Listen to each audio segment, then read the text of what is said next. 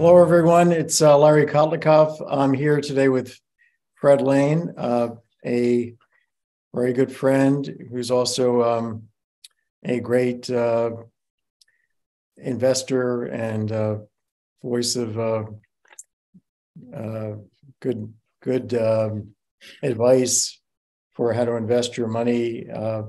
I'll take you through Fred's bio, the, the, brief version of it, and then um, we'll uh, start hearing from Fred uh, right off. So, uh, Fred um, has uh, 40 years of investment and corporate finance experience as a portfolio manager, a private equity investor, and an investment banker. So he's now um, he's a CPA, uh, Harvard uh, uh, undergraduate, um, and then he went to uh, got an MBA at uh, Harvard Business School. Uh, he uh, is currently a CEO and CIO of um, uh, Lane Generational. he was a vice president before before he started this enterprise. He was senior vice president of investments at Raymond James and Associates uh, and, and served as a vice chairman for their investment banking group. Um, he uh, was chairman and CEO and founder of um, uh, an investment banking firm called Lane Berry, Berry and uh, Company International, and that was acquired by Raymond James in uh, 2009. And uh, prior to that, Fred was a managing director and principal of Donaldson, Luf- Lufkin, and Jenrette Securities, DLJ, and Fred uh, joined DLJ in uh, a while back, 1976. He was instrumental in um, the LA DLJ's uh, growth in investment banking. He also served as co-head of the mergers and acquisition department of DLJ and as manage, managing director of um, and senior advisor of, of, Credit Suisse's first Boston uh, business uh, when uh, Credit Suisse uh, acquired uh, DLJ in 2000.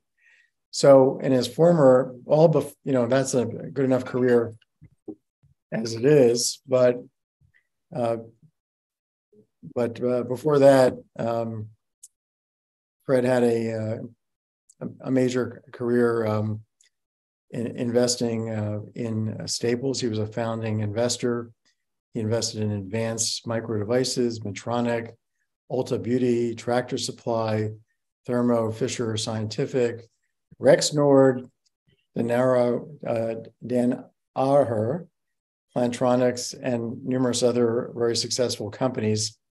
So Fred's a highly experienced uh, private equity investor, um, and he's you know, pri- personally invested in over 80 uh, private companies.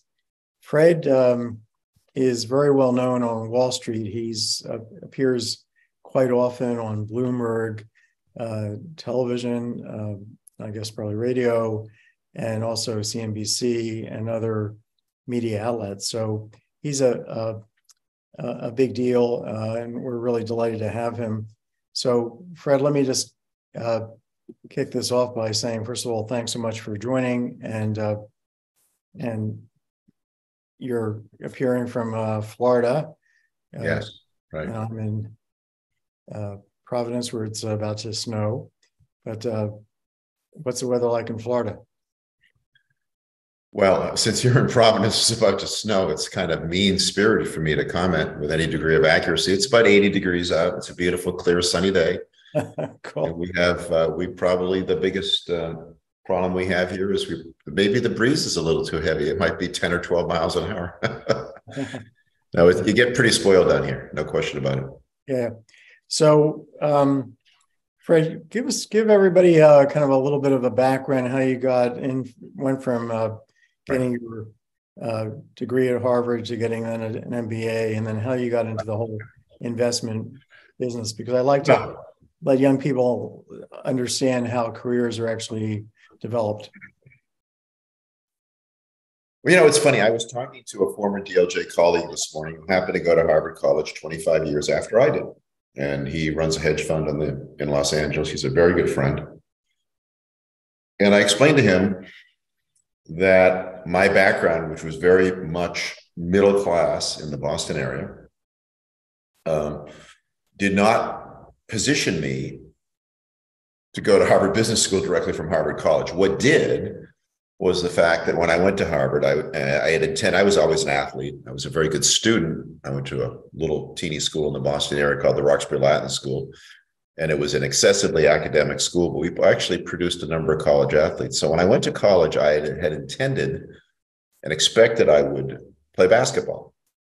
Mm-hmm. But I wasn't really recruited by Harvard. I was recruited by Yale and Dartmouth and Princeton and some other schools, but not by Harvard, which I found quite irritating.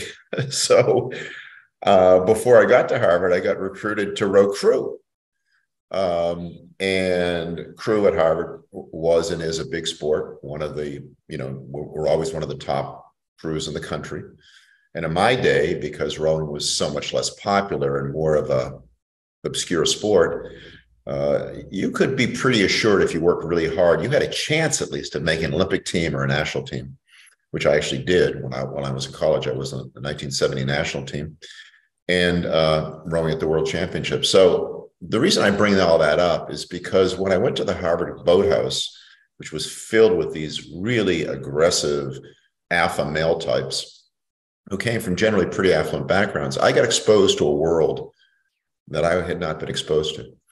And I saw this wealth from investing and banking and investment banking and insurance that it was not part of my context. My dad was a first generation American who was a doctor. He went to Harvard College too, but he commuted by trolley car from Somerville. So you get the picture.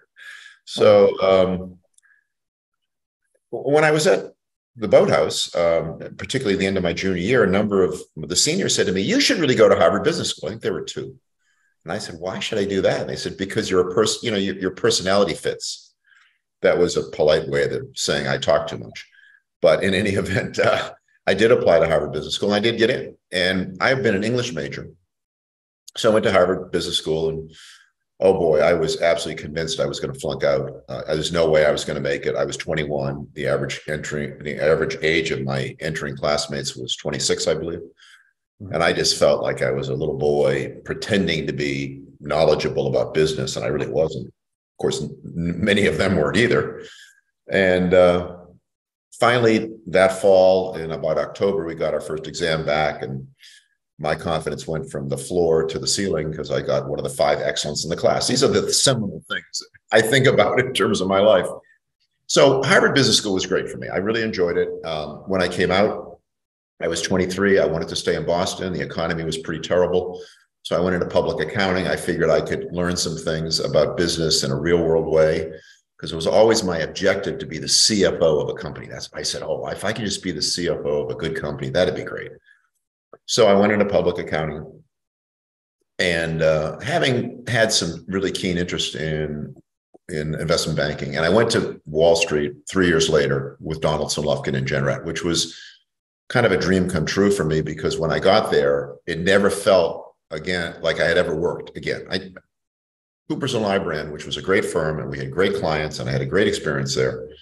It always felt like work, and investment banking never felt like work. Not really. I was too excited by working with CEOs and CFOs on strategy and financing and mergers and acquisitions. And so I went to a firm, DLJ, which, like many other firms on Wall Street at the time, was not in very good shape financially. I should add that average trading volume in the New York Stock Exchange in 1976 was 10 million shares a day, 10 million shares a day, by the way. And um, and the typical Wall Street firm had maybe 150, 250, 300 people. Um, DLJ had 400. We were the first firm to go public, and we were barely profitable. And we survived because we were quick on our feet, and we had a, a very successful growth equity portfolio called Sprout. And we also had a very successful institutional money management business called Alliance, now known as Alliance Bernstein. And uh, so I got exposed to, I love your cat. Uh, I got exposed. I, hang on just a half second. I'm going to ask. Uh, I got exposed, Larry, to very entrepreneurial people. Yeah. And we were encouraged at the time That's a beautiful cat, by the way, Larry. He wants to go outside, so hang on a half. a second. Sure, sure. I will hang on patiently while you put your cat outside. I'm a dog guy. I've got two dog dogs, but I, I love cats equally. Yeah. Uh, so so DLJ, I got exposed to and had the opportunity to invest in some private companies. And once you see that and you see the leverage in doing that, it gets pretty exciting. Now, I should add, by the way, there was very little capital around um, in 1976, and in my view, what has what fed the wealth effect that we're all still enjoying was a combination of things. It was first, first and foremost, and you as an economist, Larry, know that because you and I are part of the same age cohort. We know that the baby boomers came into the workplace, and that was the largest bubble of people to ever go into the workplace. And that created obviously a tremendous uplift in the economy. In addition, the federal government was very concerned about retirement savings. And so they instituted what became, what started off as individual retirement accounts. And then they basically went to defined, they also liberalized rules around defined contribution plans. We know those as 401ks today. And that combination, and that, so that was people coming to the workforce. They were young, they were making money, they were putting money away because they were basically encouraged to do so. And it was pretty much common sense to do it because you got a tax deduction, you got to have your, your savings multiply, um, you know, tax free. If you want to understand more about that, you should read Larry's most recent book, which is a terrific book, by the way. A lot of common sense in there, a lot of common sense, even for, even for a guy like me, by the way, who thinks I know everything, but I don't. Uh, very good book. Uh, highly recommend it. And uh, but the last factor, of course, um, in my view at least, was we had some reduction in tax rates. Now remember the the marginal tax rate in the 60s was as high as 90%. By 1981 or 1980, it was 70%. It had come down some, and Reagan reduced it to from 70 to 50 in 1981, was much criticized. And then in 1986, the marginal tax rate went from 50 to 28. Now, with that, there were a lot of uh, deductions that were taken away. But for most of us, and I certainly put myself in this space, it was it was great because basically we had the ability to keep more of what we were making and invest it as we saw fit. And I think that you know, I have a libertarian leaning. I'll be the first one to admit. And so I think the question you have to always ask yourself about taxes is who's going to do a better job allocating capital, the public sector or the private sector? And you, you can make your own judgments on that. But in any event, the combination of those factors basically there was created a, a, this flow of funds into public markets. And so the stock market, you know, went up a lot uh, an outgrowth of that, of course, was private equity investing. A lot of money went into private equity investing. The junk bond industry was an out was basically an offshoot of all that capital because it was basically high yield debt with some of the risk of equities. And you put that all together, and and basically Wall Street was a great place to be. You didn't have to be the brightest bulb to to thrive when there was so much money, so much capital coming into the industry. So Fred, and and I was the beneficiary of that. No question about it. You were one of the brightest bulbs. Uh, so, during this period, you're doing a lot of private equity investing, mm-hmm. and you've done that continually thereafter. Right. Really, even though you've had some other, you know, these other positions. I think it'd be interesting for um, uh, people listening and, and watching to know how you consider a company when you know you have all these op- all these companies that you might invest in. Mm-hmm. Uh, what is it that you look for as a seasoned private investor, uh, private equity investor? What, what are the five or 10 things that you kind of uh, check off before you plunge in? Well, I think number one is the quality of the leader, the quality of the CEO. What is his background? So I was a founding investor at Staples. I had known Tom Stemberg in college. I had known him in business school. Didn't know him very well in college. He claims otherwise. I don't think we knew each other very much, but we, I guess we did. He was an extraordinarily bright guy. He's he unfortunately he died of cancer several years ago. When he founded Staples, he brought me the business plan, which has been put together by a different firm uh, in Boston for him. And he was partnered with a fellow named Leo Kahn, who was the founder of Purity Supreme Supermarkets in Heartland. And Leo was a great guy. The combination of Leo and Tom was powerful because they both came out of the supermarket industry. And Staples looked at this industry, this office supplies industry, the so called stationers industry, and said, This is a ridiculous industry. This is a distribution business with 40 to 50% gross margins. That's too much. We should build large stores, we should cut the prices, and we can make a lot of money doing it. Turns out it was a fairly capital intensive business.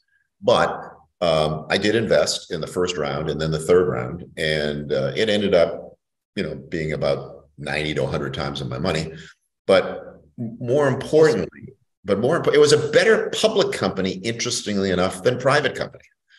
So one of the things that I have found to be true is when you have a great company with great management and they continue to be able to achieve um, uh, you know a very dominant position and they can defend that position it tends to be a pretty good public company even after it's been public. A lot of say oh you know once it's public the gains aren't there. That is not true i took public tractor supply in the mid 90s, and it had a market cap of about $240 million. And today its market cap is, I haven't checked recently, I'm guessing it's about 16 or 18 billion. I can say honestly that Joe Scarlett, who's retired and ran the business for about 35 years, is one of the greatest CEOs I've ever met. He's an upbeat power. He's a just, he loves his people. They love him. He's demanding. He's a great coach. He's a great mentor. It's it was a great public company. Ulta Cosmetics. Okay, there's a, here's another one. Uh, we did public. I did public offerings for Ulta. It was actually financed by a good friend of mine in Los Angeles, a former DLJ colleague, and it was uh, it was a very tough business. And of course, Ulta today is the gorilla in the retailing of cosmetics. They're basically Sephora on steroids. They have more stores they typically appeal to a somewhat lower price point and a younger demographic. They have a terrific uh, online business. They have a terrific loyalty business. But Mary Dillon, who ran that business, uh, it was brilliant in building the business. Having said that, that company wasn't particularly successful for eight to 10 years. So having a great management stick by, stick to their plan and make it work, sometimes it works. Sometimes it works extremely well. There are other times, you know, I was an investor in 7 Up, which we bought out of Philip Morris. Uh, 7 Up was in it, was very undervalued, very poorly run. And it, we merged it with Dr. Pepper into one entity. And then happily, uh, the Prudential Insurance Company decided they wanted to buy out DLJ's interest. So we made about 18 times in our money in about, uh, yeah, about 18 times in our money in uh, in about 20 months. So that was just dumb luck. The, the truth is, or, or maybe I should say, over exuberance on the part of an institutional investor. But what was, because uh, everything that could go right did go right. And then subsequently, everything that could go wrong did go wrong. You know, we introduced two new products. They were both very successful. But um, the soft drink industry is a tough industry. The, the growth in soft drinks is, is flat to down even then it was flattened down. And it's all about shelf space. And when you're competing against pepsi cola and coca-cola you know you're, you're in a difficult spot because you may have the 7 up brand which is a you know a lemon lime drink but coca-cola has sprite. And i know pepsi has an pepsi has an equivalent drink. I can't remember what it is. But the point is choosing choosing the right industry with the right management matters. So let me ask you on this. Uh, so yeah, the right industry with the right management, but so must also be the right business plan. The yes you know, on uh, Seven Up, you probably saw these issues with the, the competition going in, but you went in anyway, right? So what? Well, we what, bought it. We bought it. We bought it through Dr Pepper. So I was representing a different buyer at the time. I was actually working with a different buyer, and we bid 210 million for it. And it was bought for 260 million. And then that was from and Tommy Hicks and Bobby Haas bought it, Hicks and Haas they came to DLJ and they said, "We know you represent an underbidder. We know Fred Lane's involved. Um, get him to the table. We want your assistance. We want you guys to finance it." So I explained to my team, "Hey, this is this is how I got to 210. How do you get to 260? Well, it turned out that Dr. Pepper, Dr. Pepper had good management, and that good got in Jim Turner, and that good management could be utilized to run Dr. Pepper. Excuse me, Seven Up. Yeah, yeah. So basically, we took out about Dr. Pepper took out 20 million of costs, and Seven Up had a deal to pay Dr. Pepper essentially 10 million a year for those costs. So a $10 million cost savings capitalized at five or six times is the difference between 210 million and 260 million. So that's how I got comfortable with it. And then, and then, as I said, everything that could go right, they introduced Dr. Uh, Cherry Dr. Pepper, excuse me, Cherry uh, Seven Up, and Diet Cherry Seven Up, and they were tremendously successful. And then they introduced Seven Up Gold, which was supposed to be the ginger ale product, and Prudential got all excited. They wanted to buy us out. We sold out, and that product, Seven Up Gold, flopped. But we were out by then, and uh, you know it's it, and of course now it's owned by uh, I think Cadbury Schweppes. Cadbury owns it, but it's a tough it's a tough space. I mean, I I, I love businesses where you have very strong market share. Uh, you know, I have little rules. Okay, I, and this is true in public markets as well as private markets. Um, if it doesn't have a gross margin of at least 30% gross margin, cost of goods sold as a function of sales, if it doesn't have, make at least 30% gross margin, it's probably a fairly undifferentiated commodity type product. And ideally, it should have an operating margin of at least 15%, if not 20%. Operating margin being profits before interest and depreciation and taxes, you know, EBITDA, we call it. I, I, like those kind of metrics. I like those kind of returns. But you also have to look at those returns net of capital expenditures. So, you know, we had a client at DLJ, Advanced Micro Devices, run by one of the most colorful and charismatic CEOs I've ever met, Jerry Sanders. But the truth is that AMD was at the time, it's not true today, was a second source supplier to Intel. And as a second source supplier to Intel, they weren't able to dictate price. And 20 years after its founding, AMD still didn't have any retained earnings. Now think about that. You've been in business for 20 years, you have no retained earnings. And, and part of the reason for that is because the semiconductor industry, at the time at least, was extremely capital intensive. So AMD was playing the same war um, in the same battle as Intel, building out wafer fab facilities which now cost 10 billion. In my day, they cost 500 million or a billion. That's a big, big number. And so today the industry has changed. And AMD, by the way, has spun off its its uh, its foundry business. It's now known as Global Foundries.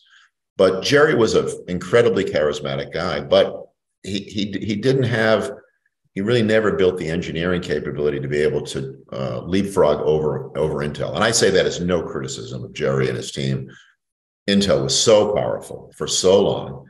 And now we see Intel struggling. You know, it, in, in many ways, it's reminiscent of the problems IBM has had. IBM was so dominant for so long. And it's kind of an also ran because too often dominant companies aren't willing to change and frankly cannibalize their existing business by by going you know basically saying the world's changing we're going to have to take capital and take it out of our great profitable business and invest in the future. That's hard to do. It's really hard to do because we all, you know, we all tend to we love the the devil we know. That's the business we know, and the uncertainty of building another business that might essentially eliminate your your historical legacy business is, is difficult. So on that score, I mean, if you look at the Fortune 500 today versus where Fortune 500, let's say, uh, 30 years ago, mm-hmm. uh, lots of turnover, right? And yeah, I, I don't know the actual. It's funny. I, I if you look at the even the Dow, it, you, it, Larry, you make a great point. You know, um, so often companies go through go through periods of great success, then their industry goes out of favor. I want to talk about the oil and gas industry shortly because it's a great example of this. But you know, you and I have been in the New England area and the New York area for 30, 40 years. And in Boston, we had Prime Computer, we had Apollo, we had Digital Equipment, which at what point, at one point, was one of the most successful companies in the world. They're all gone. They're all they've all been acquired. They've all been gobbled up um, because they they were those those three companies were all in the mini computer business. And and what's happened, of course, is that semiconductor power has taken the mini computer and basically reduced it to you know now we have small servers that have 10 times or 100 times the capacity of those mini computers. I mean, it's laughable. My iPhone mm-hmm. has probably 200 times the processing power of the digital image processing companies that I sold, one to 3M, one to Gould. I sold these companies in the late 80s. And they, they were selling boxes for 10, 20, 30,000 dollars to NASA and various medical applications. And the processing power in our in our iPhones is is so or Androids is so much greater. And it's a great example of of how quickly technology changes. It's just one of the reasons that in our investing strategy at Lane Generation, our Helix strategy, we're very much focused, primarily focused, in fact, on technology and growth companies, be, be it growth, be it technology in healthcare or technology in industrial applications or technology as we know it today, software and consumer technology as well. So does this, uh, by the way, um, people can invest with you through Fidelity, right? Uh, well, not not so easily. Uh, Fidelity's our platform; they're our custodian. You can find us on Fidelity's platform, but not very easily through an existing RIA. If you have an existing registered investment advisor with whom you work, they can they probably won't want to. they can send you to send you to us to manage part of the money. But if you look up Lane Generational or even Fred Lane, you'll find Lane Generational website and you can reach out to me directly, and we're happy to do that. And I might add, I just have to put in this plug because I'm very proud of this. Um, we charge a flat 1% fee, and uh, most of the wealth managers out there who manage money for clients are charging three quarters of a percent or a percent. And then they're buying products like ours or ETFs that have additional fees. So, all in, we believe our fees are anywhere from 20 to 40% lower than what most uh, people who have their money managed by an investment advisor are managing, which might lead you to question my sanity. Why would I price our product so low? And, and frankly, when I got into the business, I didn't know any better. And I thought fees are likely to come down. And so we're very comfortable with this fee structure. I don't like it. I wish we could charge more, but it's fine. And uh, you know, ultimately, providing value is why I did this. I didn't really do it because, and this is an additional career for me, right? I mean, I'm, and I intend to do this for the next 20 years. Larry and I joke about, are we ever going to retire? And I think uh, our commitment to good health and a full life suggests we're not going to do that. We're going to retire a year after we die, right? Right. Exactly. Exactly. So, so the, um, so if you're saying, you know, you know, if you think about digital um, and these other uh, companies or General Electric? I mean, uh, so does this mean that the investors should be kind of thinking about the company's prospects over the next uh, five years and not not really count on it uh, delivering beyond that, and then kind of think I, I out? Because I mean, is there some kind of law of um, of uh, business here that uh, says that once you've got like a good product and a good idea that it's going to work for a while, but creative, you know, Schumpeter's uh, uh, theory of creative destruction is going to apply, and you're going to be basically, you know, out of business after 10 years. We're not going to be out of business, but um, but one of the things that I think investors do need to focus on is is the is the competitive position and they have to monitor that and follow that. So, you know, we, we do very deep research in each of the holdings we have, and we, we only have at any point in time perhaps 20 or 22 holdings. So we follow their quarterly reports. We talk to management and directors whatever we can. We go to conferences. We buy third party research from a number of investment banking firms, including Credit Suisse and, uh, and Raymond James. Uh, we we participate, we are subscribers to some expert knowledge networks, Tegus being one, T E G U S. Gerson Lehrman is one people may be familiar with, but basically these are where executives who have left a company and are no longer subject to non-disclosure agreements can talk about their experience at the company and their perspectives. So I believe the best way to understand what's happening in a company is uh, the best way is not to talk to management. We do talk to managements, of course, and and research analysts from Wall Street are okay, but I love to talk to customers and competitors and suppliers because they really have the best handle on what's what the dynamic is. Um, but your question really was, can you buy a stock and hold it forever? And the answer is no, you can't. Um, when we buy into a company, we believe that it has multiple years of compounding, but uh, things happen. Um, I give you a great example. We were a long-term holder of Adobe. We made a lot of money in Adobe, and uh, but we were worried about their growth rates and worried about their valuation relative to their growth growth rates.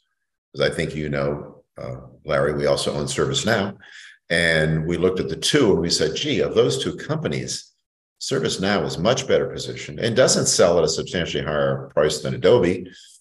We got a little worried about Adobe. We started taking money off the table, and finally. Um, Adobe announced recently an acquisition of a company called Figma. And Figma, uh, it was agreed, was so important to Adobe because it allowed for collaboration in terms of use of these marketing tools and, and design tools. Adobe is, is big on uh, the tools are very much used for publishing and you know everything we do on the internet, everything we post. frequently, it's dependent on Adobe tools. So Figma was seen as a very important acquisition. Uh, when it was announced, uh, Adobe basically kind of went sideways. Figma went up, and Adobe, to our surprise, a little bit actually increased in value. There were there was a lot of talk about there was probably going to be an FTC investigation that they might prevent the deal from going through. We were very concerned. We sold our position, and uh, and guess what? The FTC is going to do a review, and my guess is it doesn't get approved. Now, the bad news isn't ju- isn't just that, but now Adobe has kind of admitted to the world we really needed the uh, we really needed this Figma acquisition, and now they're being told they can't make it. So, you know, uh, I will say this: very few companies grow to the sky, and then you can Somebody say that again. Sorry, say that again. Very uh, like trees, most companies don't grow to the sky. Right.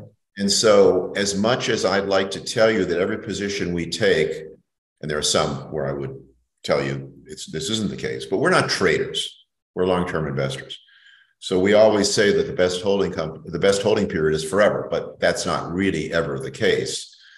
But you know, I'll give you. But you can also have great companies where the valuation just gets to be, in our view, too high relative to other opportunities out there. Now, let me say that one of our clients at DLJ was Costco. We financed them privately. They've been a very successful public company. I love the company. The vice chairman and CFO is one of my best friends. I hired him coming out of college. I advised him to go to business school. I, he's a wonderful human being, Richard Galanti. He's the face of the company to Wall Street. Um, and you know, we we invested at it in, in it and doubled our money and more than doubled our money and we don't own it anymore. Now, why don't we own it? Because we thought it just got too expensive. We just thought it got a little too expensive. And I, I don't, I didn't pick up the phone and call Richard and say, "What do you think? Is the stock too expensive?" But you know, you, you, at some point you have to look at at the company. Is it a great company? But it may be a great company at not a great valuation. So, Fred, if you're a let's say middle class investor, uh, you're not you're a doctor, a lawyer, or whatever. Uh, school teacher, um, and somebody's listening to you, uh,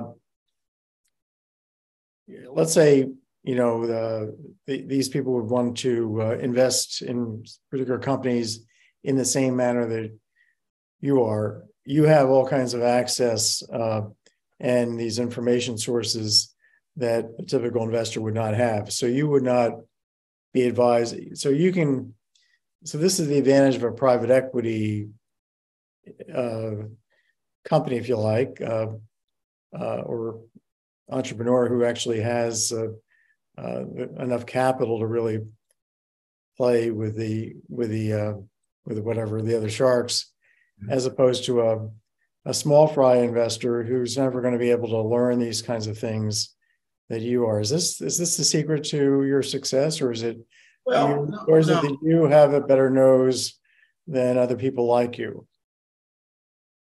Well, uh, so let's differentiate between private investing, which I do through funds that I I'm very familiar and close to the people who manage the fund. My son actually has a fund. I'm I have a big commitment to his fund, but I have an, commitments to other funds and have invested in other funds, some of which are kind of household names, Summit Partners and TA Associates and people like that. Um, I invest in other people's funds. I do that, and my access is available because I know the people who run the funds, and I can make a half a million dollar commitment over five years, just not an insignificant amount of money, and I can make that commitment, and I have access. But having said that, the truth is that public company investing doesn't work too badly. And I want to get back to your book and make a point here, which is, which is, and I think there are two things to think about for a person who's got hundred thousand dollar income, a two hundred thousand dollar income, and they they live modestly and they save. The truth is that the bright shiny object of private equity or real estate, commercial real estate, as an example, um, it's a bright shiny object, but it's illiquid. And and you have to and you have to have some expertise and you have to know how to analyze in the case of real estate, you know, what is the location, what is the demand for warehouse space as an example, or apartments or whatever. We've all seen what's happened with office buildings recently. So I think you have to have specialized expertise. One of the things I think you speak to in your book is, is index funds. Now, I'm an active investor, so I should hate index funds and I should criticize index funds. Mm-hmm. And I think they've been a little overdone. But having said that, I think the average investor would be very well served to sit down uh, with a financial advisor and say, I, I just want to invest in index funds. I'm happy to basically mirror the market. Now, you're not going to get rich that way. However, you actually are going to get rich that way if you let the returns compound. So the first and the most important thing for investors to realize is don't look at your port, whatever you allocate to equities, to stocks. And by the way, given inflation, which we think will be persistent, we think investing in equities and commodities is very important because we don't think inflation's coming down. And we don't think the federal government wants inflation to come down, nor can it afford high interest rates. So that combination, in my view, drives people to wanting to own, should they, they should want to own equities. But you don't have to, if you basically put aside X amount of money and you let it grow at seven or 8% a year, well, then that, whatever you put in in year one, in year 10 or nine or eight will have doubled, depending if it's a 7% return or an 8% return and so on. We all, you know, the rule of 72s, right? Take 72, take your growth rate, it's 9%, it doubles in eight years. So um, I would say that the mistake people make is they put money in the equity markets and they use it as an ATM. They want the cash back. And typically, when they want the cash back, is not always, but frequently it's the wrong time. It's not always the wrong time. So if you're going to put, if you're not going to buy a house in the next two years or three years, you probably don't want money in the equity market unless you have plenty of money. You have other sources of capital anyway. But if it's if it's if it's if your capital is limited, allocate only that which you can leave in the market because the time you're going to be most inclined emotionally to sell it is when the market's really down. And of course, that's the time when everybody says, but of course they don't do it. Everybody says, "Oh, I'm I want to buy at the bottom," but people don't buy at the. Mm-hmm. You know, we we've had a miserable 2022 as an industry, and um, you know the markets, the S and P is up. I don't know seven or eight percent so far this year. Our stocks are up significantly more than that. I'm glad to say, Larry. I'm glad to report that to you.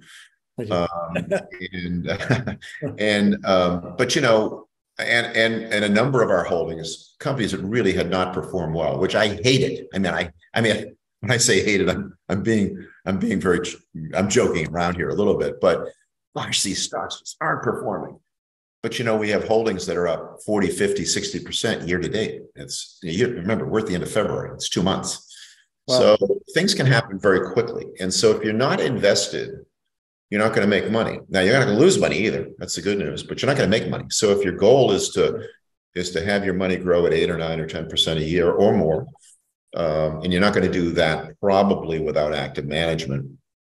Uh, but if you if if your goal is to grow at eight or nine percent a year or ten percent a year, you have to be invested. So I would say the average investor just needs to stay invested and find someone to work with. And you know, we have a minimum. We say our minimum is a million dollars. We make we don't hold people to that necessarily. It depends on facts and circumstances.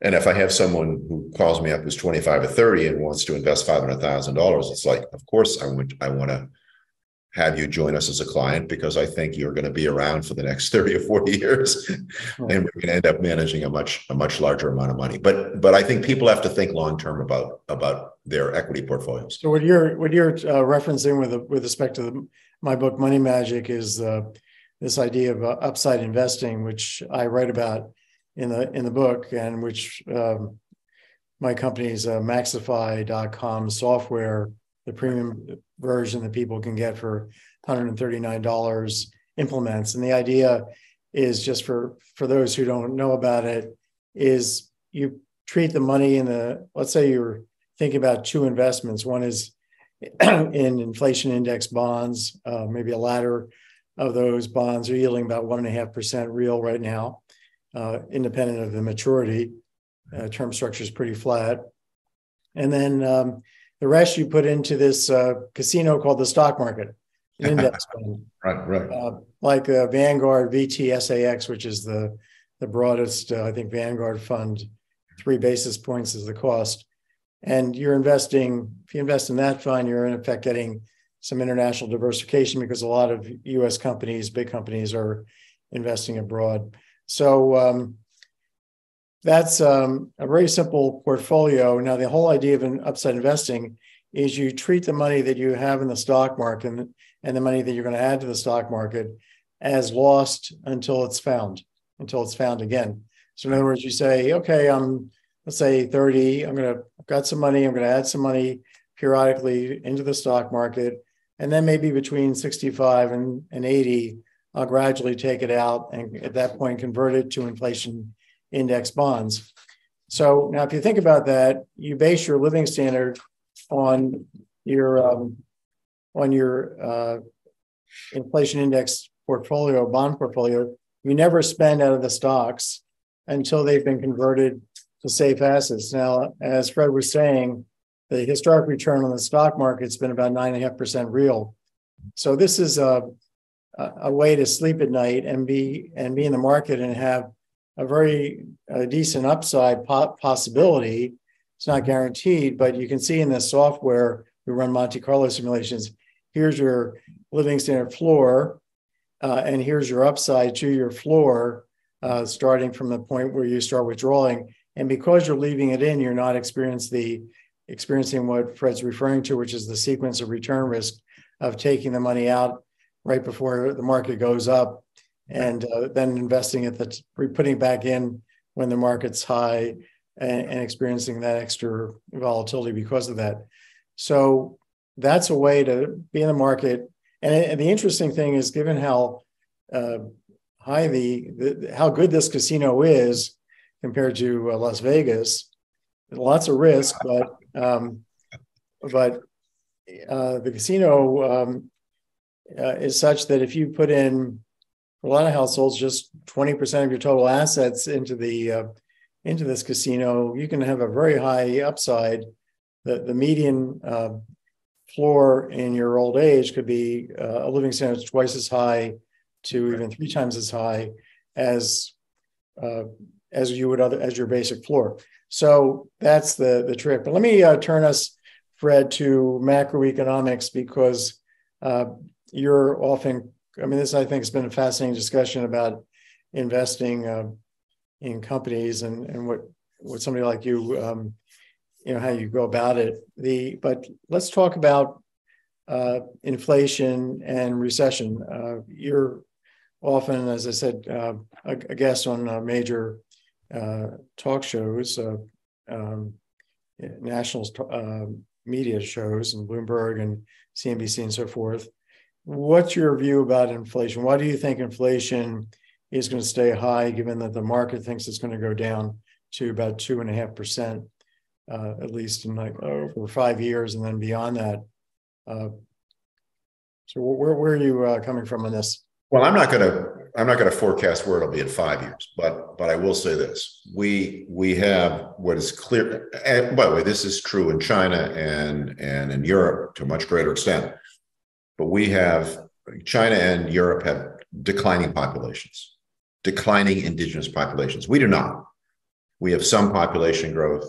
We're actually growing more than our we're growing more than the replacement rate. That's helpful to our economy. But we have an aging population and we have this structural problem with employment. We and we have a lot of people sitting on the sidelines who aren't working, who could work. We have, I think, something like eight million males between the age of 20 and 50 who aren't working. Now, part of that is, you know, maybe because the wife works. I don't know. Maybe they're working off uh, on the gig economy, but that's a that's a very large number. So I think, you know, I, I think the Fed, who's talking about getting inflation back under control, is kind of playing with a squirt gun, trying to put out a fire. And I say that because our fiscal policy, our government spending is inflationary. Our policies on energy are inflationary, and our policies on, on stimulus are inflationary. Look, I, am actually in favor of, of some adjustments, if not forgiveness. I'm going to get very criticized for this by my friends for student loans. But we haven't, you know, basic, there's been a moratorium on paying interest on student loans for about three years. And that moratorium has cost the federal government 200 to 300 billion dollars. All right. Now, the interest rates on student loans are way too high anyway, uh, in my opinion. They're terrible. And there are also people who feared defaulting, who went one year to some community college. It didn't fit for them. They should have never gone in the first place. I, I feel badly for these people. I think it's terrible. Yeah, forty percent of the kids who start college never finish. Exactly. It's That's and right. it's and it's and they and and and and college is expensive by any by any measure. And so and it's a tough and it's a tough return on investment. It's got to work. It's got to work. Uh, yeah. Uh, so, one of my one of my uh, chapter titles is "Don't borrow for college." I'm a college professor.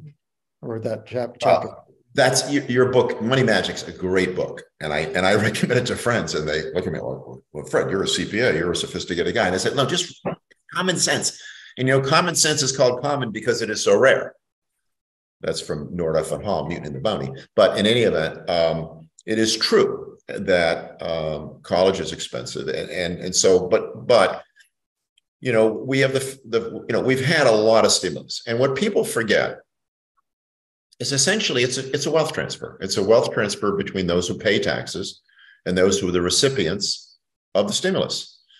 And so, again, the question is would you rather have the productive person investing that money? When I say investing, uh, you know, I mean, I ran, I've run two firms where I'd walk in in the morning and I recognize there are 40, 50, 60 people on, uh, who are relying on me and then at DLJ even, which became, you know, we were became a very big firm. But in the early days, I realized that, yeah, I'm part of the machine here that employs people. This is really great. So, you know, the private sector does do that. And um, and it's important that we we continue to fuel that sector. Now, having said all that, politicians generally, I'm a libertarian, here it comes I think politicians are, are interested in votes and they're, they're not they're not motivated to think long term. And so so you know are they going to basically quash transfer payments? Are they going to quash? I mean, who wants to be responsible for bearing Social Security? Social Security needs major adjustments. Larry Kotlikoff here knows more about that than I'll ever know and knows the solutions to that. But if you if you think about Social Security, you think about Medicare, you think about uh, you know all of these entitlements they cost us a lot of money and okay that's it is what it is but having said that i think we have to be very careful to not create inflation on the on the wage side um, by providing stimulus because then you're taking a, somebody who's working and saying why do i need to work? I just got stimulus or i have too much un- I, or i have unemployment benefits and after i pay to get to work and so on. Energy policy is the same thing Okay, you know, we were energy sufficient. And, um, you know, I was on TV two summers ago and I made the comment to the anchor that the Federal Reserve, it was actually on Fox, and I'm not partisan one way or the other. I'm bipartisan, but uh, I was on Fox and I made the comment that the Federal Reserve Bank of Dallas had surveyed 400 institutions, and only one out of 400 said they were willing to invest in new oil and gas development. That was a function of ESG, in my opinion, and the green progressives. And I think, you know, I'm I'm a believer in renewables. I, I think they're terrific. I'm a believer in nuclear because it gets ultimately the cleanest fuel and the most reliable fuel source we can have. But when oil and gas is so demonized that you know nobody wants to touch it with a barge pole, you know, maybe we should be an investor. And so here I am running a growth fund, primarily focused on technology enabled, technology driven businesses and consumer businesses of very high quality. And we actually bought into a drilling rig company, which is up more than 100% since we bought into it. And, uh, and we bought into Occidental Petroleum uh, about the same time, actually, that Warren Buffett did.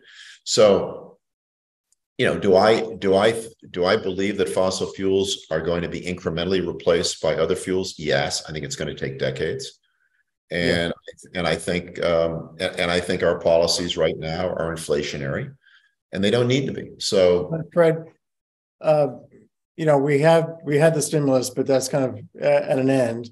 Yes, and even the student loans are probably going to have to start make as soon as we'll have to make payment. Right. Um, so, what, where do you see the infl- and energy? You know, has come down. Right. Uh, I think the, the price of oil is probably no higher than it was when Putin started the war. At this at this point, there have been an you know supply responses, and grain prices are lower than they were, probably the same as they were at the start of that war, of the war. So, where do you see? Um, you know, it's clear that the U.S. fiscal policy is totally out of control, unsustainable yes. long term.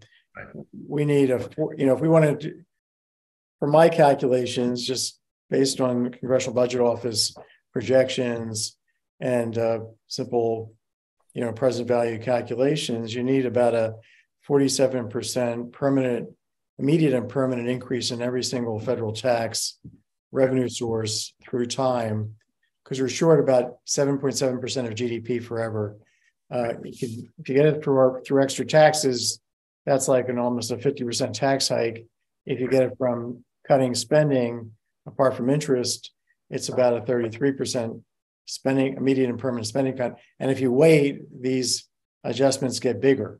They don't get smaller because you're, you know, you've got, you're letting more and more people off the hook from paying this gap, paying this bill. And that's, so that's uh, an analysis that puts everything on the books, doesn't just look at official debt, which ignores Social Security's 61 trillion dollar unfunded liability, for example. But, but, but Larry, those adjustments you're talking about are in real terms, correct? So if you have 3% inflation or 4% inflation for the next five years, that is actually beneficial to the government, right? In terms of their uh, ability, uh, you know, to, to manage these these obligations. Am I right in saying that? Well, yes and no. I mean, there's certain obligations like the, the federal debt itself um, uh, is nominal, right? Um, right most right. of it, there's apart from TIPS, uh, which is a small component of it, right. almost all of it's nominal. So when prices go up by, let's say, 10% as they have over the last 15 months or so, um, then you have uh, uh, the real value of the debt being watered down. And this is re- one reason why debt to GDP has been coming down under the Biden administration. We've right. been uh, kind of washing it away, watering it down right. through inflation. So the government's been making money by making money, but this fiscal gap is primarily coming from things like Social Security, def- future defense spending, welfare benefits, Medicare, healthcare benefits, federal, and all that stuff is real in the sense you you can't uh, inflate away doctors' salaries. You have to keep doctors' salaries. Right. That's right. Medicare. So the Medicare costs are going to be mm-hmm. going up with inflation. Everything and Social Security benefits are indexed. Now you there is some value. The government, you know, is indexing social security benefits, but it's doing it with a lag of 15 months. So everybody's social security benefits were cut by about about seven percent last year in real terms. Uh, no, sorry, about four percent in real terms, given the the lag. But you're right, we can't inflate our way. I don't think we can inflate, inflate our way out of this long-term problem unless we have hyperinflation. Uh, even there, you know, defense spending is you know, those prices are going to go up. But so, what would hyperinflation do? It would uh, produce very high taxes on asset income because that's not indexed. Uh, right. The tax code right. is not indexed for right. asset income. Um, uh, By the way, and so even relatively high levels of inflation actually help the government with its deficit, right? right. Okay, but so you know, I, I grant you this that uh, that the temptation of a government of any government that's totally broke like ours is just the first thing to do is to print money, and and then prices go up, and then at some point they realize they can't get that much out of that source, so they have to do something for real. Mm-hmm. And you know the why the Weimar inflation, the German hyperinflation, uh, ended when uh, when the, the parties, the political parties got together and said, we're going to have a fiscal reform. And the, uh, the economy, uh, the general public took that to be meaningful. And actually, prices started to, the inflation rate started to come down in Germany, even though the printing of money actually accelerated. Right. So it's interesting how expectations matter to the, what's called the velocity of money, how much it turned yes. over, the effective amount of money but anyway, uh, so I'm I'm with you that uh, we have a long term problem that there is an incentive to print money. But let me ask you: Is there anything else that you're seeing about inflation that um, is a cause for concern? You know that people are not talking about that you're looking at. Well, let's talk about this whole issue of reshoring, bringing back to the United States critical industries or, or, or, you know in the extreme people say oh all industry we should do all our own manufacturing. That is ridiculous. That makes no sense at all. It's incredibly inefficient. You as an economist know that better than i do. Um, but having said that even bringing back certain industries and critical though they might be will be somewhat inflationary. I mean i think it's it's true. And so Oh, look, I mean, as much as you can say our government's broken, it was it's you know it's music to my ears to you say that on the one hand. On the other hand, I don't think we're as bad as I mean, Europe's in a much worse position than we are. I think uh, fundamentally, and China's not in a great position at all. I mean, their demographics are not at all good. Uh, Japan's demographics aren't particularly good. So, you know, I, I think that um, you know I think inflation. Um, I mean, first, we can live with it. I mean, the difference between 2% inflation and 3 or 4% inflation doesn't affect most people who are wealthy. But it affects it affects the lower class a lot. And that's the most worrisome part of this, in my view. My my my biggest concern about this country is class warfare.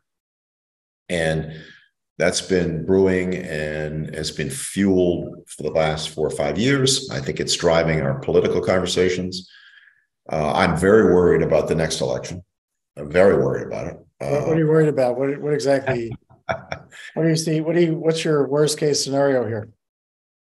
Well, I'm worried that I, I'm worried that Joe Biden has got a red carpet to the another four years. I think it's I think it's almost this is this may sound crazy. He's got a low approval rating. A lot of people think he's not capable, but the Republican Party is going to screw this thing up. They're not going to be able to compete. I mean, what, what are you worried about with? Uh, you know, I agree. Biden is not taking the stance. You know, steps that I would take to uh, right. you know, form fundamental reform, Social Security, healthcare, uh, or try to, or at least articulate a brand new vision of the tax system uh, so that we can get this this problem under control.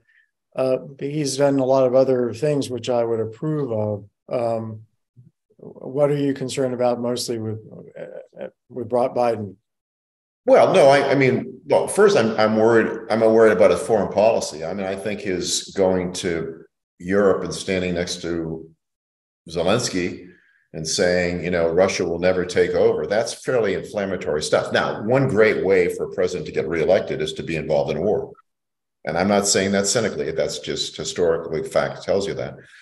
But I will also tell you, I mean, it, I'm making a different comment here, which is, you know, I think there's a lot of a lot of us who are right leaning. I'm really centrist. My wife is quite right leaning. I'm quite centrist. But my view is that if Trump runs again, whether or not he gets the nomination as a Republican or doesn't, he could run as an independent. He's going to, then he's absolutely assuring that Biden will get reelected. It'll be a Ross Perot situation. Okay, so, so Biden's reelected. Why is that a problem from your? It may not be. By the way, it may not be. It may not be a problem, except for the issue of capability, the issue of is he able to do the job, because and if he's not able to do the age? job, pardon me, because of his age. No, not no, not because of his age, but because of his health. I mean, there's a big difference. You know, uh, uh one of my mentors growing up and along the way here was the former chairman of Kidder Peabody, who died at 107. And at 93, 94, he was as sharp as you and I. I mean, he was unbelievably sharp. So I don't think it's a function of age. I think it's a function, and and he had high energy as well. I think it's a function of health. And I think then the problem becomes who's really running the government, and that's worrisome to me. That that worries me. I mean, uh, you know, Kamala Harris seems to be largely invisible or worse, and then the question is who's really running the government and that's that's worrisome to me. I see. Okay. Well, uh, that's a reasonable concern, I think, uh, President's health. Um, what about your views on the recessions? Let's uh, kind of wind it up with um, yeah. a couple minutes on that issue. Well, I, I don't, uh, you know, technically speaking, because unemployment, I don't think, as a traditional economist, I think you'd agree with me, unemployment is not a required aspect of of a recession. A recession is what two consecutive quarters of negative GDP growth, isn't that it? Right. We, we, had, had, that. We had that last year, and they we had that. And we denied that we were in a recession, right? yeah, it's not a you know a set right. formula. Uh, the economists at the National Bureau of Economic Research. Well, I, right. I don't know. Um, I, I think I, I don't happen to think if if I think we're going to be in a slower period of growth. I mean, it, it is interesting watching people pull back, be more cautious. You know, when you go to the supermarket, and my wife jokes about when she used to go to the supermarket, every item was a dollar. Now every item's four dollars. Now she's going way back when every item was a dollar in her head, she said. But you know, when you go to the supermarket, or you go out to out to dinner or something like that, and you're, you know, you're spending how much money for a piece of fish? How much money for a piece of chicken? how much money for a box of cereal? How much money for a dozen eggs? It's it's it, that that's bothersome. Gasoline prices have come down. They're still high, but they're they're fine. Um, but you know, you look at service costs, very high. I don't see any. I don't see how those are going to come down. We are very much a service economy, and um, and energy costs, I think, are going to basically, I, I don't think they're coming down. I'll put it that way. I just don't think, and if we have a strong economy, certainly not coming down. So, you know, I think, I think, um, I think all of that's it. And so when I, in a, you have an inflationary environment, people are going to be more careful about their spending. So I think we'll have, I don't even want to call it a soft landing. I think we'll have kind of a, a stagnant economy and we'll have inflation. So I guess that you put those two together and you come up with that ugly word stagflation. I think that's kind of what where we are right now. And that says to me that there are going to be opportunities if the because the market has sold, sold off and is selling off at times. It's a very volatile market. There are going to be good opportunities in specific holdings. I think indexes will do less well because it'll be more of a diversified um, a diversified holding. But I want to get back to something you said, Larry, because it was brilliant actually, and I, want to I want to put an exclamation point next to it. Too many people look at investing and they look at a point in time. And if you look at any of you who are listening, if you go to Google and you do a Google chart of the S&P 500 for the last year, 3 years, 5 years, 10 years, 20 years, 30 years, you'll see that the shorter the period, the more jagged the lines are. It looks very volatile. It's very scary. But if you look at it over the longer sweep of time, I think you'll find it to be, you know, fairly modest. It's a fairly straight line up and to the right. And, and that's a function of technology growth and creativity. And this country remains pretty darn good at that. So as, as long-term investors, you know, I mean, I, as a long-term investor, I'm, I'm fine. I mean, I tell everybody just stay the course, stay the course, stay the course. Because, but if you have a three or five year perspective or two year perspective, I mean, I'd frankly put money. You can put money into money into a money market now and make almost four percent. Yeah. Uh, but I want to add one other thing, just to be clear to people who are listening to this, and that is that my money, as it relates to my public equity holdings, is invested exactly the same way my clients' money is. Like I don't have my, I don't have this portfolio of, oh, that's good for me, but it's not good for them. No, my money is pretty much invested exactly as theirs is. In fact, not pretty much, it is invested.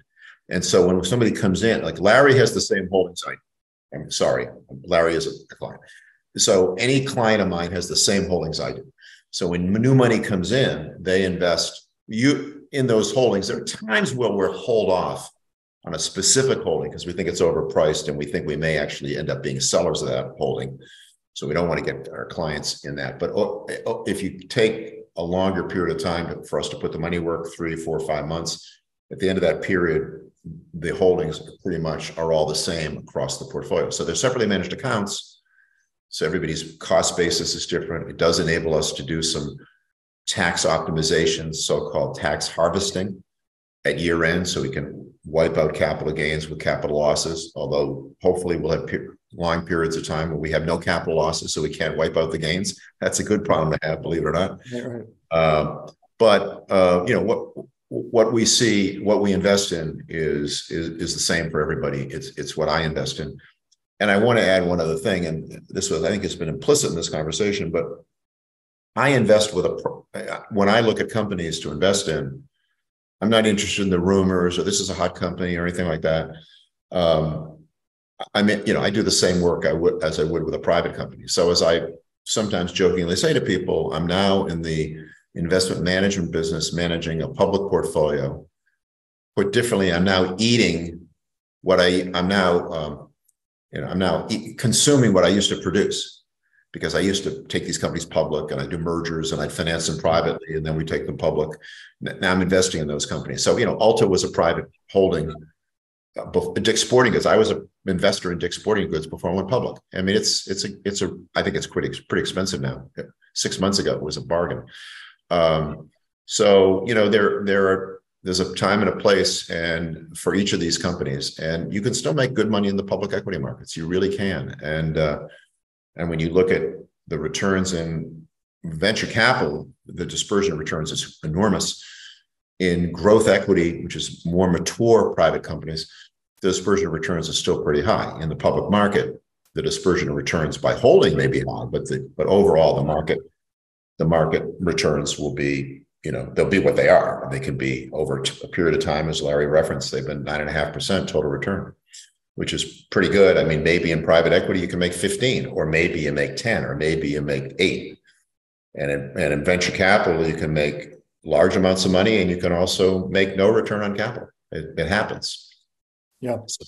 So, uh, Fred, thank you so much. This has been fascinating. And uh, think people learned a lot about uh, you know your world and uh, and also got some insight about their own investing. And uh, we will be in touch. Great to have you. Thanks. Thank you. Thank you, Larry. I've been so long winded. I hope people have the the little button on their playback so they can accelerate the speed. I apologize for how lengthy, oh. but it's a lot of fun, Larry. I love, as you know, we have our telephone conversations. They're a lot of fun. Yeah, yeah. We're always talking. Okay, you take care. And I'll see and I'll see you later this spring.